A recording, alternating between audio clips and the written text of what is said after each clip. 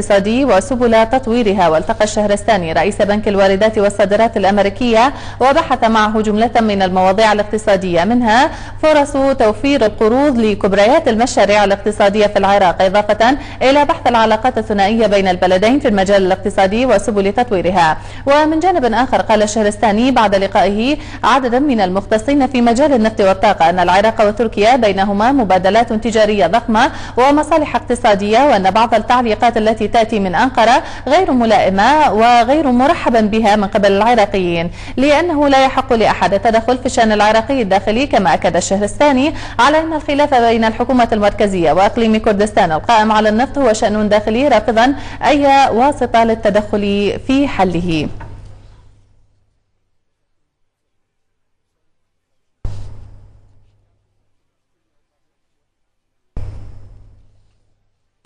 مشاهدينا ومتابعة لهذا الموضوع تنضم إلينا مسؤولة مكتب الفيحاء في الولايات المتحدة هيفاء الحسيني. أهلا بك هيفاء معنا في هذه النشرة وهل لك أن تطلعينا على لقاء الشهرستاني بالبنوك الأمريكية وأهم ما جاء في هذا اللقاء. تفضلي.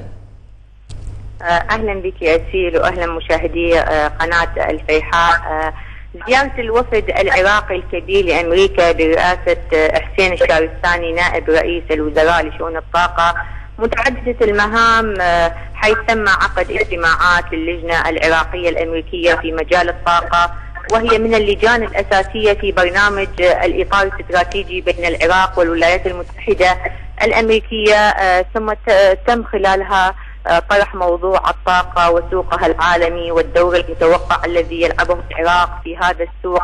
من خلال إنتاج النفط الخام وتم مراجعة خطط العراق الحالية في مجال زيادة الإنتاج ثم حتى الشارستاني المستثمرين على الاستثمار داخل العراق في مجال مجالات الطاقة ومشاريعها المختلفة وتوفير الإمكانيات اللازمة في مجال الدعم في مختلف المجالات.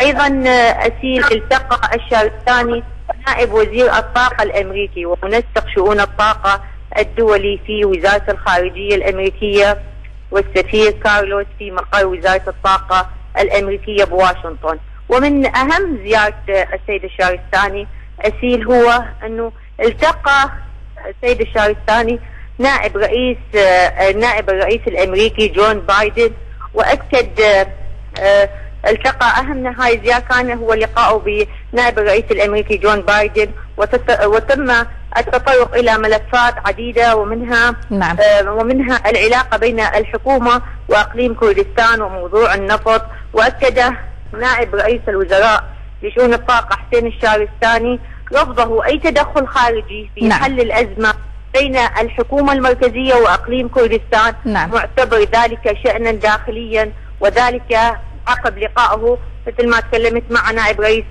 آه نائب رئيس آه, آه، جون بايدن نائب رئيس الأمريكي جون بايدن في واشنطن نعم. فهناك اهتمام أمريكي ونية حسنة لتسهيل التواصل إلى تفاهمات مشتركة نعم. بين أقليم آه الأقليم آه، وبغداد حيث أن تصدير النفط عبر أقليم كردستان ما زال متوقف وهناك نية لإرسال وفد أمريكي إلى بغداد لمناقشة هذه المسألة وكان اللقاء مع بايدن قد أخذ وقت طويل أسيل يعني كان مخطط الوقت لكن آه، أخذ وقت طويل هذا اللقاء مع نائب نائب آه، الوزراء السيد حسين الشارستاني أمريكا أيضا تؤكد في أكثر من مناسبة أن نجاح العراق هو نجاح لأمريكا وهي مستعدة إلى الوقوف إلى جانب العراق في كل خطوة من خطواته نحو الديمقراطية نعم. وتوفير اذا هيفاء لو سمحتي لي إذا كنت تسمعيني الآن يعني بعد هذه الزيارة ما هو رد البنوك الأمريكية على الطلب العراقي لإقراضه للمشاريع والمساهمة في آه، إعادة إعمار العراق؟